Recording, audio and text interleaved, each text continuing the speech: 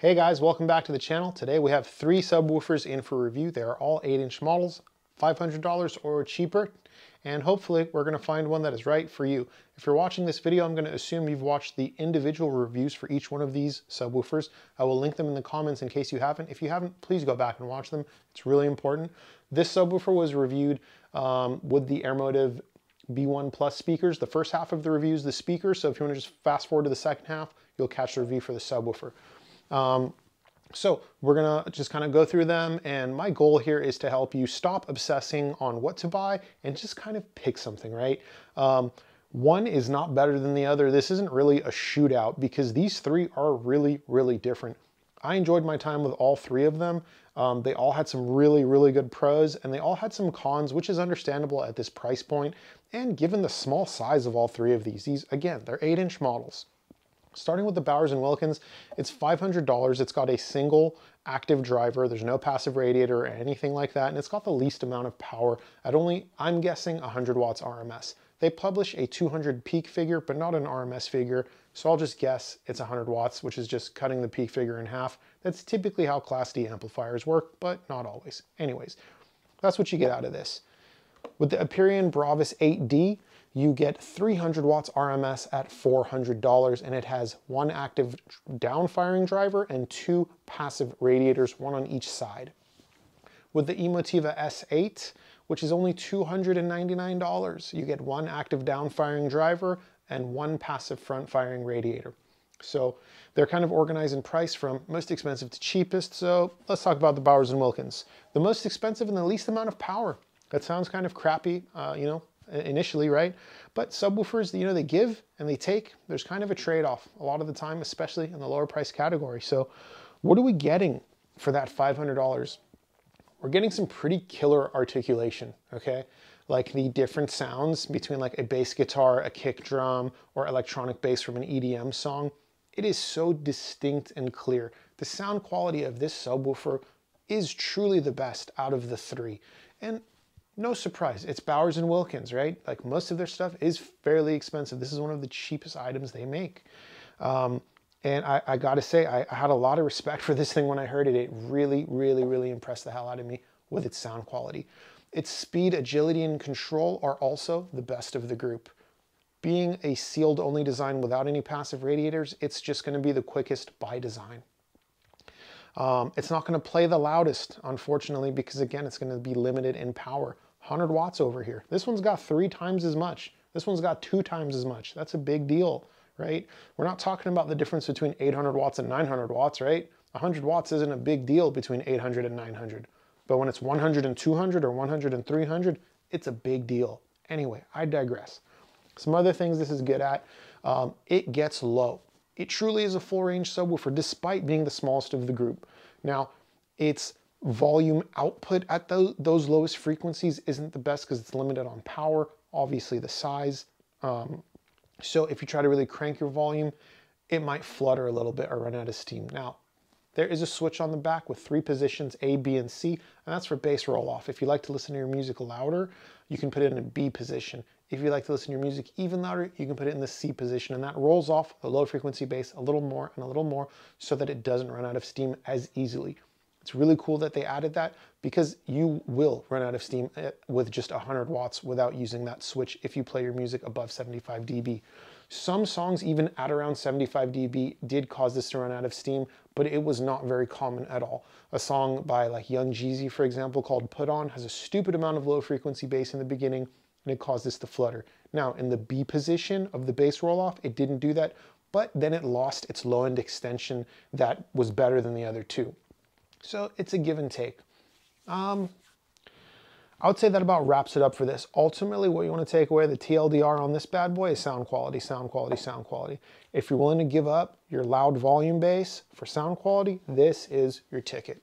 Now, at $100 cheaper and triple the power, the Aperion Bravus 8D, the best looking of the bunch, no doubt. This one's made out of HDF instead of MDF like these two. Not a huge deal, but it's worth noting because HDF is, is a denser wood. It's the heaviest at 30 pounds. Very scientific knock test, but I'll be honest, they all sound good. Anyway, so the Bravus 8D is gonna be a pretty good subwoofer as well. It's gonna have the most output volume wise. It's got 300 watts RMS. That's three times the Bowers and Wilkins and 100 watts more than the Emotiva. So if you've got a bigger space, this is just your ticket, you know, that's it. Um, its speed, agility, and control are not going to be as good as the Bowers and Wilkins, and not going to be as good as the Emotiva either. Now, its speed, agility, and control are not bad. Just these two are a little bit better, with this one being the best in that category. Now, well, let me look at my notes real quick here. There's one other thing. Ah, articulation. The same can be said for its articulation. The Emotiva has slightly better articulation. The Bowers & Wilkins articulation is quite a bit better. Because again, for Bowers & Wilkins, that's kind of the name of the game. Sound quality, sound quality, sound quality. Aperion Audio being more of, I'd say on the home theater side of things, no surprise, their low frequency extension is kick-ass given its size. Um, this thing can get low and it can play loud at those low frequencies, which is killer. I would say its low frequency volume and output is the best of the three.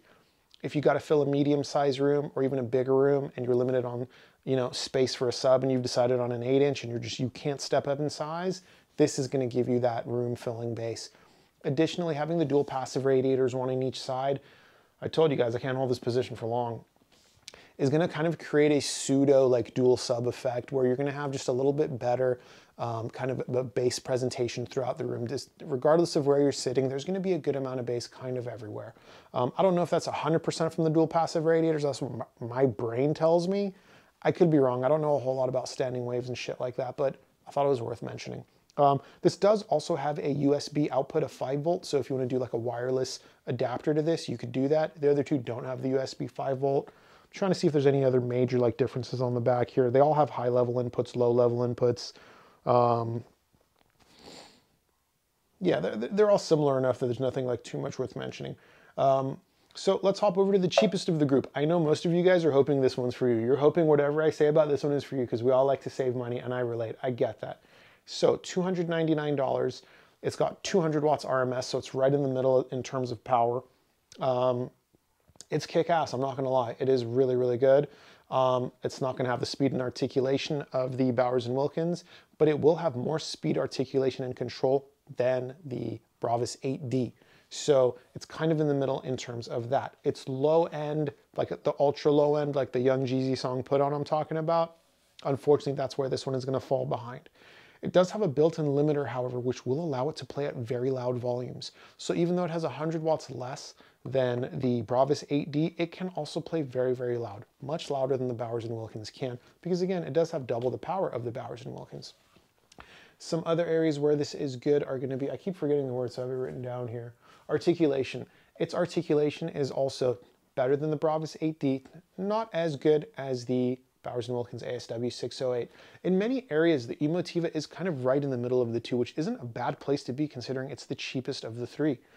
Some areas where it's really kick-ass is impact. When bass comes in out of nowhere, whether it's in a song or in a movie, it kind of surprises you a little bit. The bass really comes out of nowhere, and that's the agility that I'm talking about, that this is a little bit not as good.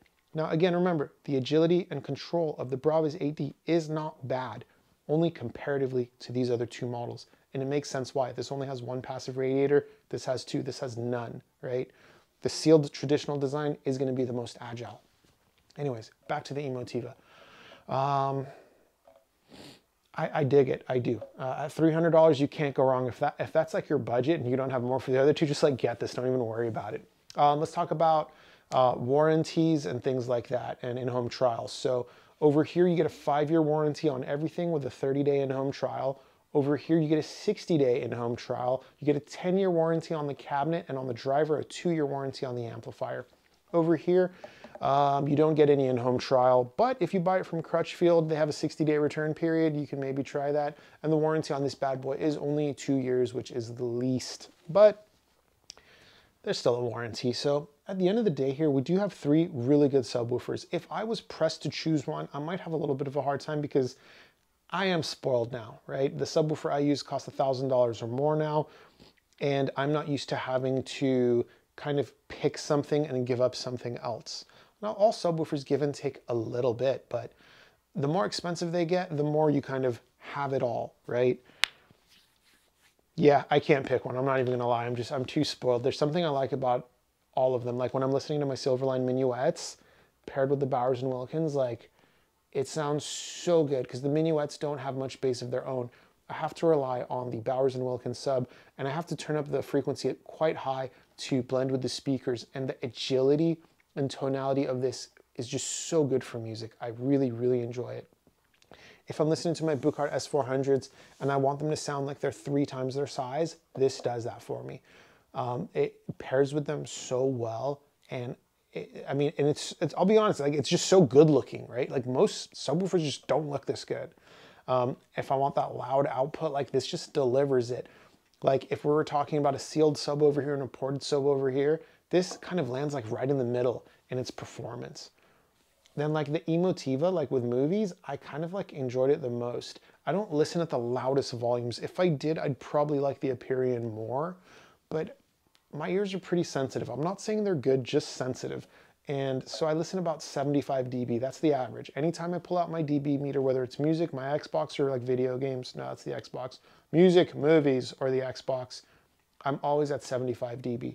So the impact of this, like, I'll, I'll be honest, like I did my best to recreate it when I set up the other two because it was so, so impressive. I was watching uh, the Star Trek Picard show, and every time a ship came in and out of warp, this thing like just really did something magical. I mean, these two made bass too, don't get me wrong, but the impact of this when that bass comes on out of nowhere is really its strong point. And uh, arguably the price is a, a quite appealing factor at only $299. But hey, pick your poison, you know what I mean? At the end of the day, there's no perfect subwoofer, but there might be a perfect one for you. And if it's one of these three and I've helped you stop obsessing and make a decision, that would make me very happy. So leave a comment and let me know if this video helped you make a decision. If you have any questions or you're still a little confused on which one might be right for you, feel free to, you know, drop a comment, send me an email. My about section lists my email and we'll chat and I'll do my best to help you. You know what I mean? For compare, not for comparison, comparison's sake, but uh, for those of you that know my channel a little bit better and know that I normally use the SVS SB3000, if you're wondering why I'm not talking about this one in this review or how it compares, it, it just doesn't make sense. It's a 13 inch driver. It's got 800 watts RMS. It's got like 2000 watts of peak power or more. Um, it's $1,100. It's a lot bigger. It's a lot heavier.